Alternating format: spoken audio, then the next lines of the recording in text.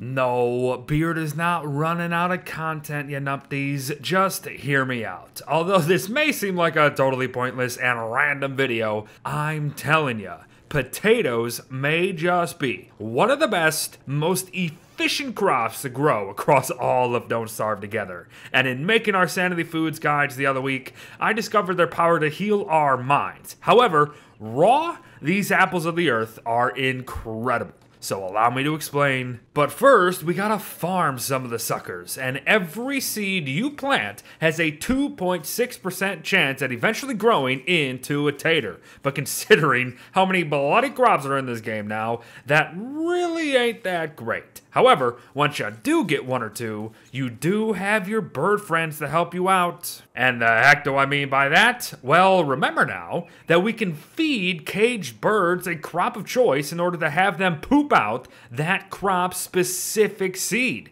leading to a potential farm area of only that specific crop, ready to be picked, eaten, made into a crockpot dish, or just fed to a bird once again to keep it going. Spam farming crops is really simple in this game. You gotta learn how to do it, especially if you got an old witch on your team.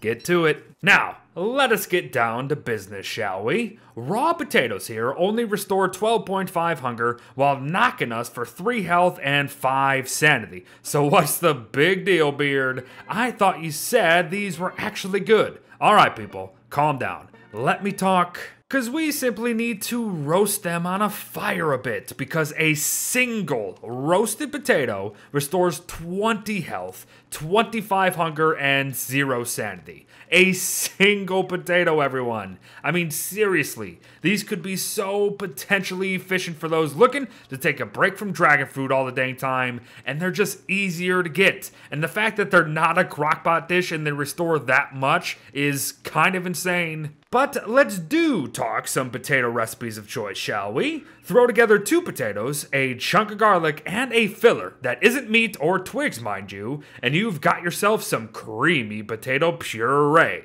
These will store 20 health, 37.5 hunger, and 33 sanity each, and will also just be some warm, mushy goodness for the gullet now and then. Seriously, this dish may be one of the best dishes out there. But anybody up for some potato slice kebabs? Sure, why not, I guess, as the bloody recipe for them is so bloody simple. The stat regens, however, are quite poor in comparison at only 3 health, 37.5 hunger, and 15 sanity. But hey, fancy spiral tubers are always an option, I guess. But now we are really getting fancy with it all, as Warly himself has his own specific potato dishes, and the first being puffed potato souffle. With a very similar recipe to its creamy cousin, the puff souffle will require an egg instead and offer 20 health, 37.5 hunger, and 15 sanity a munch. And no, you are not hearing or reading wrong.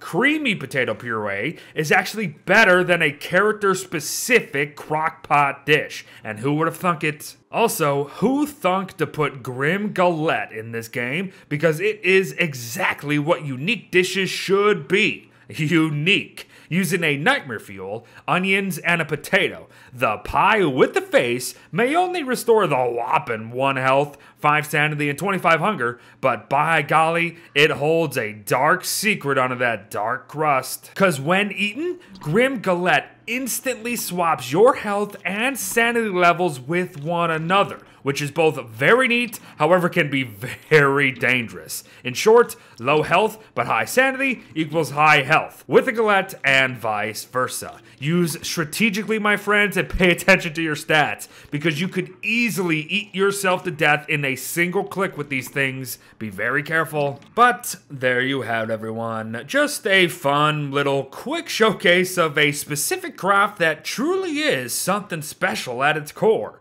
Is it gonna shake up the meta or has it even? No, probably not. But hey, at least it gives us something new to try, right? And at the very least, it's just something to always have in the back of your mind because it is very available to everyone. So thanks for watching, folks. Well wishes to all. Have fun becoming a potato farmer, and I'll see you in the next one.